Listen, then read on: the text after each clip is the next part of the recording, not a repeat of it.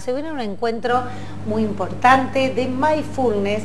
Estamos con Santiago, con Julieta y este encuentro es a beneficio de la Red Solidaria Tandil y para ello nos ha acompañado Laura. ¿Cómo les va a todos? Bienvenidos. Bien, hola.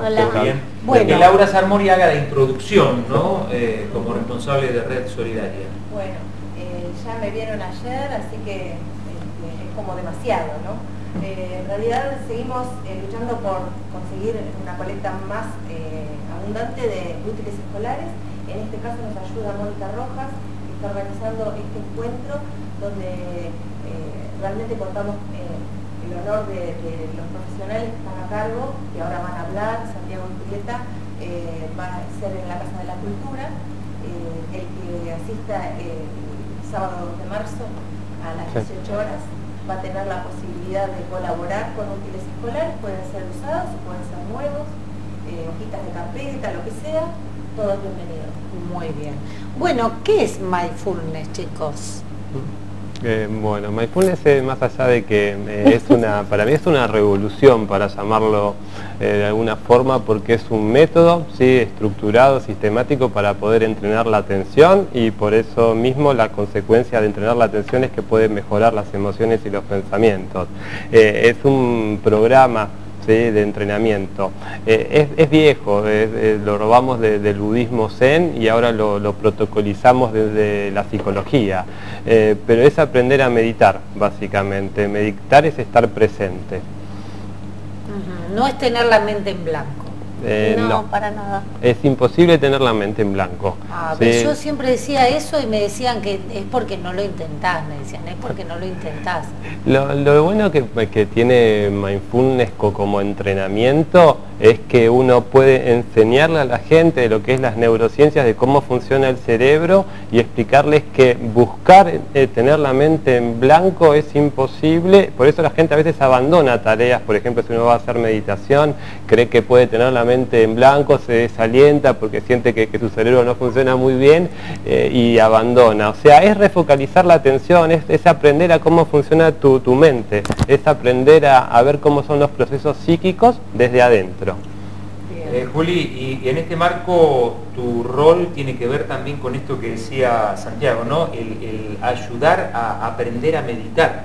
Claro, en principio esta cosa que tiene eh, la gente que se acerca a meditación y obviamente a mindfulness, de que cree que es que no haya pensamiento. En realidad pensamiento va a haber siempre porque es nuestro mecanismo de defensa. ¿Qué es meditar? Perdón la pregunta. Meditar es Em, puede ser ojos abiertos, ojos cerrados, pero es eh, como prestar atención a lo que pasa ahí en tu mente y observarlo sin y darte cuenta que no es tuyo, sino es algo que acontece por lo que has tenido en tu vida, eh, no es lo auténtico. La palabra mindfulness aparece del concepto satya, eh, satya es lo auténtico y lo verdadero de la meditación en Apanasati. Entonces la meditación es eso, es cerrar los ojos, conectar con lo que está pasando en el, en el cuerpo, y que la mente y el cuerpo estén en la misma sintonía. Y obviamente llegan, aparecen situaciones después de la meditación que no, no es lo buscado, pero aparecen como la quietud, la observación, la relajación. A ver, eh, le quiero preguntar a Santiago, él me ha enseñado de mindfulness, yo no soy un buen alumno, eh, bueno, pero lo, intento. otra, cosa que tiene mindfulness, perdón, es eso, no juzgar. No juzgar, ni juzgar. Constantemente estamos juzgando, hasta, hasta la práctica misma juzgamos. Es verdad. Que no me sale, esto no lo voy a poder hacer La negación. Pero una de las cosas que hacen hincapié es en pensar o hacer una sola cosa a la vez. ¿Eso está bien? Digamos, eh, ¿cómo, para, ¿cómo hacemos una cosa a la vez? ¿Cómo pensamos una cosa a la vez en tiempos de, tribulaciones como esta? Eh, es un entrenamiento, eh, la gente funciona por automatismo mental, como dice Julieta, la gente, o sea, todos compartimos el mismo cerebro, todos compartimos eh, las mismas áreas, ¿sí? por ejemplo, los cerebros son iguales en todo el mundo, o sea, vos tenés un cerebro que es el de, que genera como en tres áreas, uno que es activación emocional, donde están las emociones, otra parte que es lo, de hacer una acción, y hay una parte del cerebro que no tenemos entrenada, que es el área de calma. ¿sí? Mindfulness lo que hace es área de calma para entrenar una parte del cerebro que no tenemos desarrollado y hacer una cosa a la vez es lo que tendría que hacer nuestro cerebro. Pero acá tenemos un tema eh, también occidental y la modernidad, que la misma vida cotidiana te hace que vos estés todo el tiempo con vértigo. Eh, la realidad es que hoy en nuestra sociedad hacer una cosa a la vez pareciera que no es productivo. Eh, y está al revés. Cuando podemos hacer una cosa a la vez somos mucho más productivos. ¿Por qué? Y porque lo hacemos, no, no, no. lo hacemos atentos, lo hacemos generalmente rápido porque no perdemos el tiempo, eh, estamos focalizados, nuestra mente está focalizada en esa tarea eh, y lo hablo porque lo he hecho, entonces sé que es verdad. Hablaban de, hablabas de las emociones, ¿cómo, cómo interfiere esto de la emoción, de la percepción este, con nuestra mente? Eh, es un circuito em, em, que tenemos como interconectado, volviendo a lo que es una, vez, una cosa a la vez, o sea, nosotros pensamos que nuestra mente funciona de una forma diferente de lo que funciona. Em, si vos tenés por ejemplo, la computadora, uno siempre pone como la mente que funciona como una computadora, aunque vos tengas la computadora eh, más veloz del universo y si vos tenés muchas ventanitas abiertas, eh, tu mente va a empezar, tu computadora va a empezar a ser más lenta, a estar más pesada, más lenta, menos creativa. Bueno, la mente funciona igual. Eh, si, si vos podés sacar mucho estímulo y focalizarte en una tarea, tu cerebro va a tener como mucho más operatividad. Eso lo que produce una mente como muy convulsionada es que va a, hacer un impronta en tu cuerpo, en tu organismo, que ahí aparecen las emociones. Pero también acá hay un tema, de, cuando vos tenés una emoción, por ejemplo ansiedad, porque estás estresado, porque tenés muchos temas en, tu cabeza, la emoción ansiedad lo va a hacer es moverte, va a hacer que vos aumentes mucho la conducta, porque vos tenés que ser coherente con lo que estás sintiendo.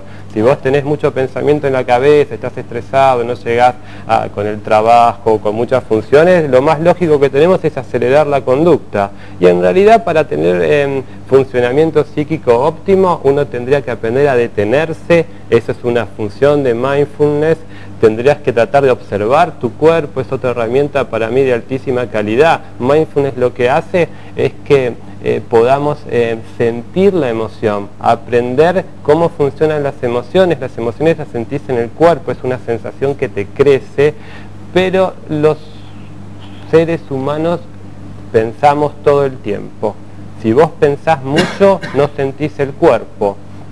Entonces, nunca se va a poder regular la emoción eficientemente si vos no vas a, lo principal, al origen, que es la impronta que sentís en el cuerpo. Ahora esta disciplina se practica como diariamente, se hacen encuentros, ¿cómo, cómo se hace? Eh, hay, hay como, eh, esto arrancó a mediados, casi en los 80, con como un protocolo de ocho semanas para reducción de estrés. Em, entonces lo que proponían eran que en ocho semanas de entrenamiento eh, hacían clases de, una semana, em, cada semana dos horas y después los participantes tenían que practicar meditación todos los días. El que practicaba más eh, aumentaba más los cambios en el cerebro. después de las ocho semanas uno tiene que tener como una filosofía porque más allá de lo que nosotros nos dedicamos en, bueno, en donde trabajamos en IPSICO, hacemos entrenamiento ¿sí? estructurado, cuatro semanas. Pero eso sería más un tema eh, estrictamente de tratamiento. Lo, que uno busca es filosofía de vida, que, que vos lo puedas incorporar a tu vida cotidiana, todo el tiempo. Claro. Tomar herramientas para después practicarlo en, la vida se, se puede hacer ojos abiertos, ojos cerrados, porque la idea es que no es que cierres tus ojos y que en algún momento desaparezca lo que estás pensando, sino que ser consciente de lo que pasa, eh, por ejemplo, Santi habla de las emociones, cualquier cosa que vivenciamos nos genera una emoción y siempre queremos como no, no, estar con esa emoción, la queremos quitar. Mindfulness, eh, la práctica de sentados, que es la, práctica formal de me siento, cierro los ojos, me observo, te permite que después eso lo puedas hacer en tu vida diaria para poder transitar las emociones. Bien, fluir, soltar, dejar ir, encuentro vivencial sobre los beneficios del mindfulness a beneficio de Red Solidaria también. La entrada, útiles escolares útiles escolares. Recordame cuándo. 18 horas, Casa de la Cultura. Este sábado a las 18. ¿Dónde es la Casa de la Cultura? Ah, perdón, 2 de marzo. 2 de marzo, 2 de marzo. Hay gente que dice, ¿dónde es la Casa de la Cultura? Turista. No, no se rían porque hay gente que son de Rodríguez y Belgrano. Que no saben. Bueno, esquina. En la esquina, acá cerquita. Eh, la esquina Rodríguez y... Rodríguez. Correcto. Frente a la plaza. donde era el distrito militar para los que iban con la... Con, o después funcionó Secretaría de Inspección, bueno, en fin, varias cosas. La casa de Manochi. Para Hay muy lindas actividades ahí siempre. ¿Hay que llevar algo? Útiles. No, no, aparte de los útiles. No eh, una, mente, eh, una mente ahí presente. Sí, y ropa pueden ir como quieran porque es una actividad sentada. ¿sí? Ah, no, no vayan eh, eh, muy incómodos, sino que vayan como algo holgado y tranquilo, pero bueno, pueden ir vestidos. No, no, hay un uniforme para hacer mindfulness. No, no pero viste que por ahí dice, bueno, no sé, No, pero la, la, la, la, gente me pregunta. Lávense los pies, qué sé yo.